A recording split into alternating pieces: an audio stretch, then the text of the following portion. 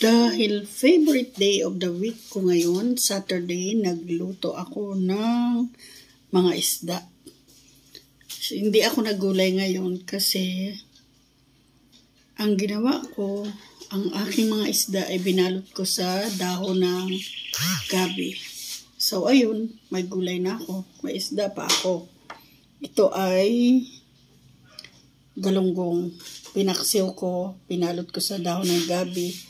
At ito ay tilapia picadillo ang luto. At nagbili rin ako ng sariwang flying fish na binabad ko sa suka at bawang na medyo napaalat ang aking timpla. Kaya ngayon, pinagagawa ko si Pitay ng sausawang suka. Magluluto siya ng suka na masarap. Sausawan. Yan.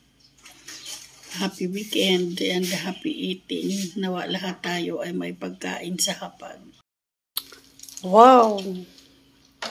Pongga, may dalang, ano ito? Breaded butterfly shrimp ang aking mabait na kapitbahay. May baon siyang food, makikikain siya dito sa amin. Pero may baon siyang food. Bongga, siya lang May video man kaya ako